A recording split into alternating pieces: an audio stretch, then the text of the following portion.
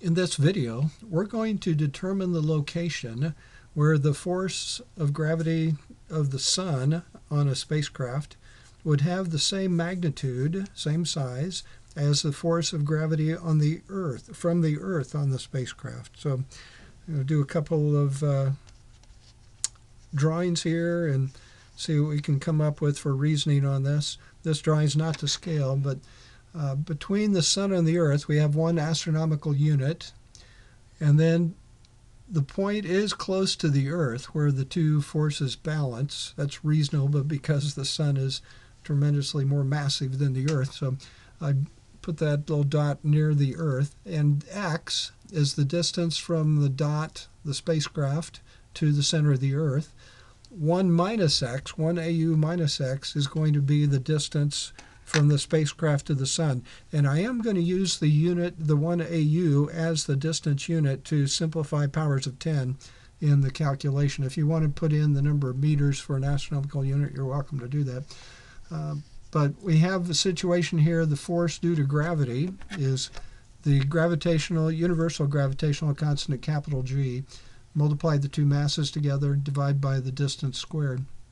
So for the case of the sun, on the spacecraft, capital G, mass of the sun, mass of the spacecraft, and the distance from the center of the sun to the center of the spacecraft is 1 minus x squared. Again, this 1 here is an astronomical unit.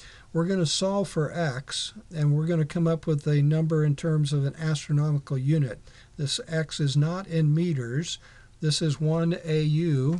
I should even uh, kind of scribble that in here. This is 1 AU. So x will not have units of meters. I'll convert it later, but it'll have uh, units of astronomical units. Over on the right side, the force of gravity due to the Earth on the spacecraft, capital G, mass of the Earth, mass of the spacecraft, and x squared. You can see right away that we can cancel off capital G on both sides, and we can cancel, cancel mass of the spacecraft on both sides. So those are those are not important. Let's put in our numbers here. The mass of the sun, 1.9885 times 10 to the 30th kilograms. Uh, you can look that up at uh, do a Google search NASA sun mass and you'll get a reference there from NASA on the mass of the sun. Uh, same thing for the Earth, 5.9724 times 10 to the 24th. So we have 1 over x squared on the left and just over x squared on the right. I'm going to cross multiply. I'm going to multiply both sides by x squared. I'm going to multiply both sides by 1 minus x quantity squared and come up with the uh, following uh, arrangement here. So the mass of the sun now times the x squared. And notice I've also divided both sides by 10 to the 24th. Uh, so this was 10 to the 30th power. I'm dividing both sides by 10 to the 24th to simplify the numbers. That leaves with 10 to the 6 here. 10 to the 30th divided by 10 to the 24th. We subtract the exponents when we divide, and those powers of 10. So I have 10 to the 6, and times the x squared. On the right side, the 10 to the 24th has been canceled off uh, because I divided both sides by 10 to the 24th. So we have this number, and now I'm multiplying both sides by 1 minus x quantity squared. So it cancels on the left. I have it here, and I've gone ahead and expanded 1 minus x times 1 minus x. And you should try this on your own. We get 1 minus 2x plus x squared. Then continuing, simplifying by distributing through the bracket, multiplying every term in the bracket by 5.9724, obtain those numbers. Again, pause the video if I'm going too fast and uh, uh, verify my uh, algebra steps here. Okay? Who knows, I might make a mistake. Gather together like terms. I prefer to have a positive uh, coefficient for the x squared term in a quadratic equation. That's what we're dealing with here. I'm keeping lots of extra digits, probably too many, but I prefer not to round off until the end of a problem. That's just my style. If your instructor prefers something different, follow your instructor's method. Um, and then the uh, middle term with the x to the first power and then our constant. So how do we solve a quadratic equation? Well, you may have a calculator that automatically will do it for you, but if you do it the long way, uh, the quadratic formula, x has a value of minus b. b is the coefficient in front of x to the first power, plus or minus square root of b squared minus 4ac. a is the coefficient in front of the x squared, and c is the constant. And then evaluate the top, divide by 2a.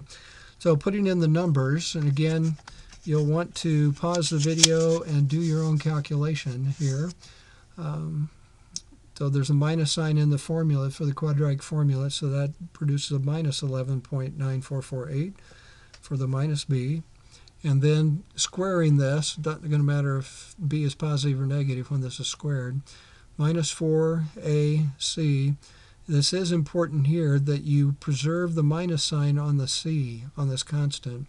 This is, uh, if I want to write it a different way, plus a negative 5.9724.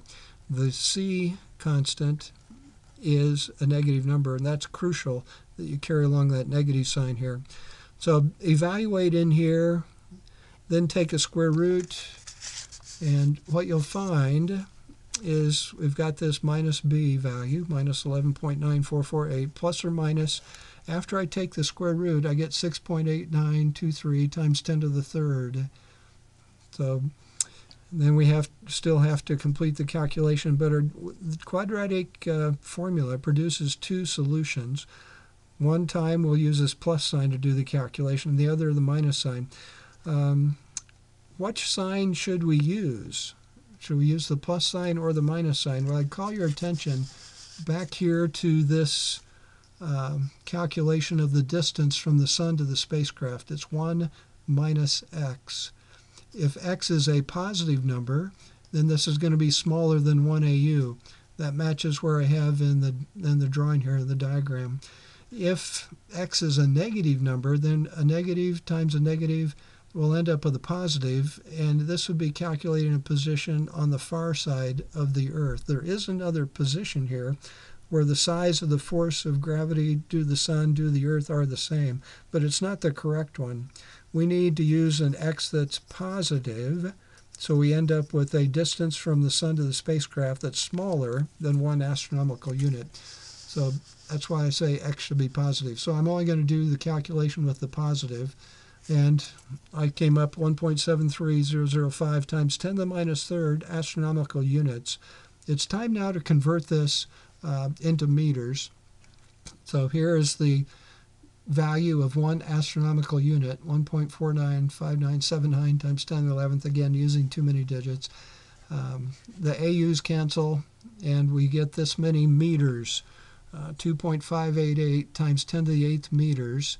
258.8 million meters from the Earth. I would just point out uh, you know, something to compare that to. Uh, from the moon to the Earth, it's 3.84 times 10 to the 8th meters, and that's larger than the value of x. That's an interesting uh, result. There's another video that I've produced here called uh, Does the Moon Orbit the Sun or Orbit the Earth? that discusses this uh, fact just a little bit, but notice this value of x is closer in than the position of the moon, average distance of the moon. This does not mean that the moon uh, is going to fly away from the Earth, um, but it is true that the force of gravity of the sun on the moon is stronger than the force of gravity of the Earth on the moon. I'll say that again. The force of gravity of the sun on the moon is stronger than the force of gravity of the Earth on the moon. And I'm only doing a simple calculation with no motion involved and no uh, consideration of, of orbits. Um, if you want some, uh, I'm getting far afield here. Let's calculate. Let's compare this x to something else. The radius of the Earth. Uh, the Earth's radius is a 10 to the sixth number. Here we have a 10 to the eighth, and this position is outside of the radius of the Earth. It's 40.6 times the radius of the Earth is where the uh, balance location is uh, is uh, is present. Again, this is a simple non-dynamical calculation. We just have the on fixed on a straight line, not considering any orbital motion and stability of the spacecraft around the Earth, what have you. Um, just looking for a simple calculation.